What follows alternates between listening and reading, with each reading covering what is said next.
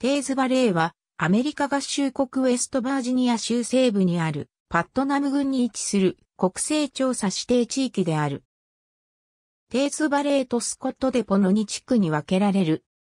2010年国勢調査での人口は13,175人だった。ウェストバージニア州にある首都同列に人口を比較した場合、テーズバレーは第12位となっている。国勢調査指定地域としては最大である。またパットナム郡の中でも最大である。ケンタッキー州とオハイオ州にもまたがるハンティントン、アシュランド大都市圏に属している。2010年時点の都市圏人口は28万7702人だった。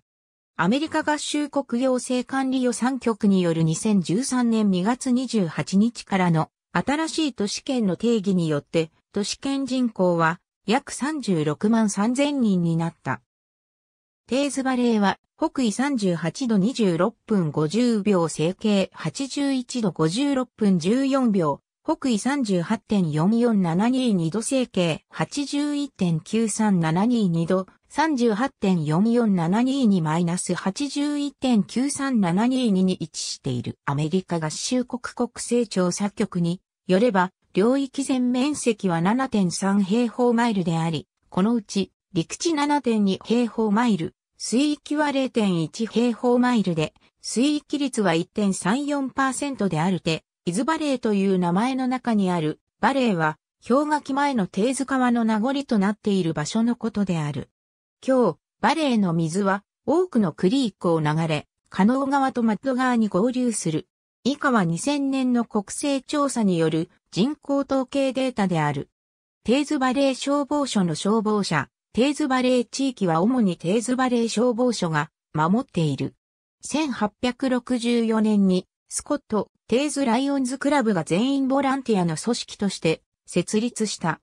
2013年3月、有給職員を一軍のボランティアで補う1日24時間週7日、稼働の組み合わせ消防署となった。テーズバレーのテーズ地域にある旧駅舎パットナム郡、教育学区がテーズバレーの公立学校を運営している。地域の公立学校に通う高校生は、ハリケーンのハリケーン高校とウィンフィールドのウィンフィールド高校に分かれることになる。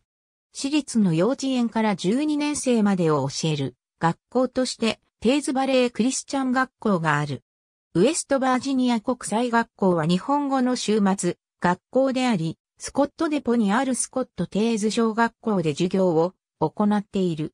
この学校の事務所はチャールストン市のウェストバージニア州教育省施設第6棟に入っている。ありがとうございます。